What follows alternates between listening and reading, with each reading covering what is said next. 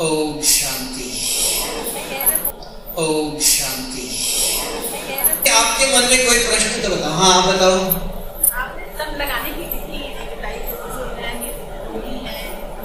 विधि, धन तन तन तन लगाने की विधि बहुत है। एक है, अगर आप अभी सेंटर में आई, अभी बहन जी ने आपको देखा, माता जी बहुत मेहमान आने वाले हैं। सब्ज़ी काट लो। ये सेवा करो। तो आपके मन में विचार चलेगा, भट्टी चल रही, क्लास चल रहा है, क्लास करना चाहिए। तो सेवा में घर में भी करती थी। तो यहाँ भी मुझे सब्ज़ी काटने लगा है। तो आपके मन में विचार चलेगा ना? तो ऐसी परिस्थिति में आप क्या करेंगी? एक परिस्थिति। आपको त्याग करना पड़ रहा है। तो ज्ञान सुनना चाहिए। आप आए तो ज्ञान सुनने के लिए तो सेवा करने लगा तो वहाँ भी तीन दो तीन एक एक तरीका बताता ऐसे समय पर भी आप सेवा करें कि ज्ञान सुने। दुविधा है। तो बाबा ने ज्ञान सुनो कहा पहले, फिर सेवा। तो क्या करें? आप कर सकते हो। तो पूछ लो अभी करो कि बाद में करते हो मैं क्लास सुनती हूँ, फिर सब्ज़ी काटते हो, सेवा करते हो। नहीं अभी काटना है। तो आप करो या औरों से कराओ। और कोई माता है, वो पढ़ समझ भी नहीं सकती है। उनको बोले, माता जी आज आप सब्ज़ी काटो मैं क्लास सुनती हूँ फिर आपको सुनाती हूँ। जब कभी ज़रूरत पड़े मैं सेवा करूँगी आप क्लास में बैठना तो आप कर सकते हो तो करो नहीं तो औरों से कराओ। एक। दूसरा अगर आपके पास धन नहीं है तन ठीक नहीं है तो औरों को आप धन दे करके जैसे पानी डालना है जैसे ईट लाना है सब्ज़ी लाना है जैसे गाड़ी चलाना आपका बेटा है गाड़ी चलाना जानता है तो आप कहते उनको गाड़ी चलाना बहुत लोग आ रहे थे, कल बहुत लोग गए।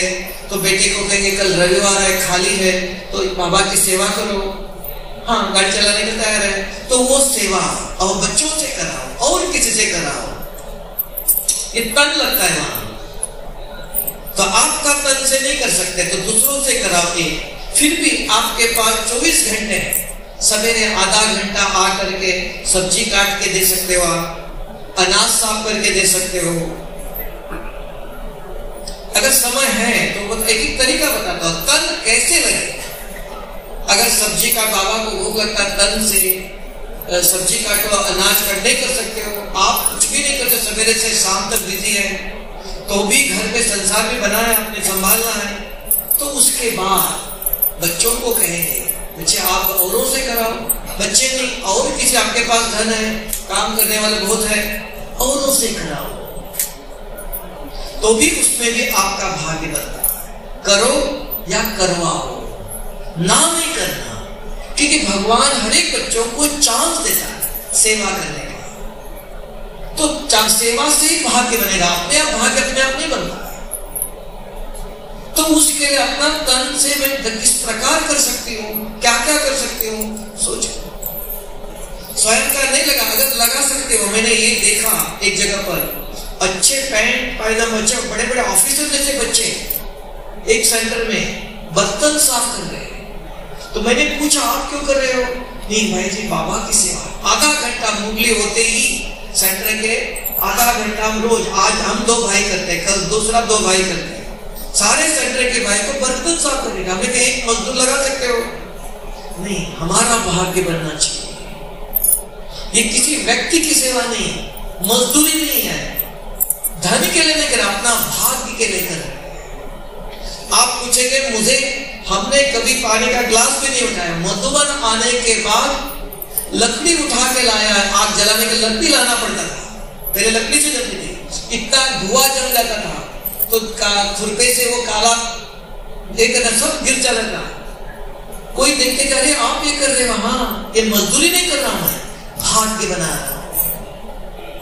तो भगवान के घर में हर कर्म करते हो मजदूरी के पैसे के लिए नहीं, नाम के लिए नहीं, शान के लिए नहीं भाग्य बना रहे भगवान के घर में सेवा, बहुत प्रकार की सेवा है।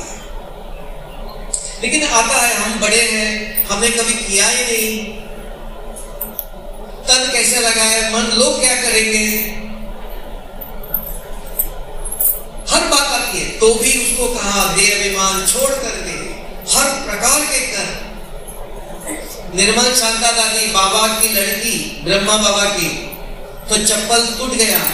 तो बच्ची, आपको विश्व का महाराजा बनना चाहते हो, चप्पल सिलाना नहीं आता है, आप अपने हाथ से सिलाओ। उनके अंदर सोलह कला चाहिए। हर कर्म अपने हाथ से करना सिखाया, बाबा ने गाड़ी चलाना सिखाया, बर्तन साफ़ करना सिखाया, अपने हाथ से। तब बाबा ने स्लोगन बना के रखा, अपना तन, अपना मन, अपना धन और अपने लिए ही भारत को स्वर्ग बनाने की सेवा कर। अपने लिए तन भी अपना, मन भी, धन भी, समय, श्वास। स्वर्ग अपने अपने ऊपर से बन के नहीं आएगा। अपने तन, मन से करना, अपने लिए कर रहे और किसी के लिए नहीं, क्योंकि हमको स्वर्ग चाहिए। जीवन मुक्ति चाहिए, कलयुग में नहीं। तो अपने लिए कर रहे हो।